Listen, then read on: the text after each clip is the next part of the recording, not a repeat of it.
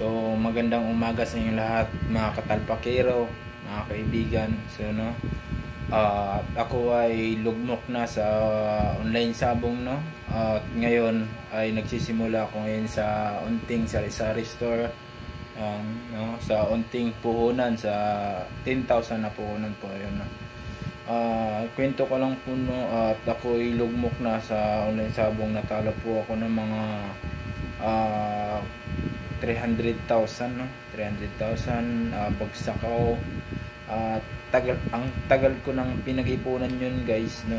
Tapos ganun lang at mapupunta lang sa online sabong sa i sa i online sabong no? Mga katalpak hero. So ngayon nagsisimula ako. Hindi pa huli ang lahat no? Para magbago ka. At hindi ka dapat na malulong doon no guys uh, hindi naman talaga as in nag-online sabong ako na uh, nakita ko lang sa pagdaan ko nung nagpaayos ako ng motor ko tapos nakita ko nagpaayos ako. Natalo. Ako parang nainganyo na ako na ganyan. Ganyan pala yung online sabong sinubukan ko. Hanggang sa natalo ako ng 1,000 hanggang sa nag-withdraw ako hanggang sa lumaki yung talo ko.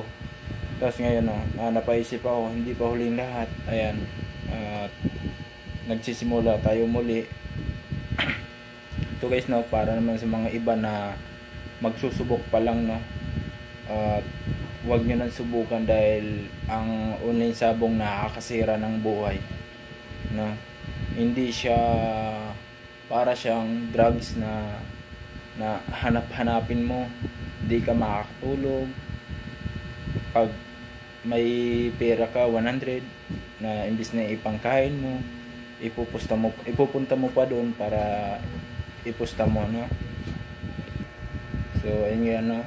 At nung time na yun na ano sirang sira ako at sinangla ko yung motor ko yeah, yung NMAX yung EDB ko sinangla ko na sa lagang malit na ano value mababang value lang. Dahil sa gusto ko lang makakapusta. Yun nagising ako na wala lahat na yung nawala yung lahat na pinag-ipunan ko. Uh, parang hindi ko matanggap no parang masakit sa dibdib. Sakit, masakit sa dibdib. Tapos ano parang hirap ka huminga hirap ka makatulog dahil sa iniisip mo yung online sabong na yun. Tapos time na yun na pag magkapera naman ako punta naman ako doon doon talaga naiipon sa online sabong no kaya nung nabalitaan ko na tatanggalin daw ni Pango, mahal nating Pangulong Duterte na parang ano ako agree ako dun no? Kasi parang mas nakakatulong yun na ganun. Kasi para siyang marijuana guys na hindi man ako nakakatikim o droga. Para siyang mas ano mas maraming nalulung diyan at maraming masirang buhay sa online sabong hindi lang buhay niya buhay ng mag-asawa, pamilya, nagkaiwalay dahil sa online sabong dahil mas priority nila yung online sabong kaysa maging asawa nila. Yung iba naman at uh, hindi na nila kinaya yung yung tawag nun at uh, yung IQ nila at sila agad sumuko nagpakamatay ganyan yung iba naman ng hold up yung iba naman ang bugbog ng asawa dahil sa wala ng pera, wala ano, pinapagalitan na, away na ano. Guys, ito, nakakasira po yung online sabong, hindi siya nakakatulong sa atin. No?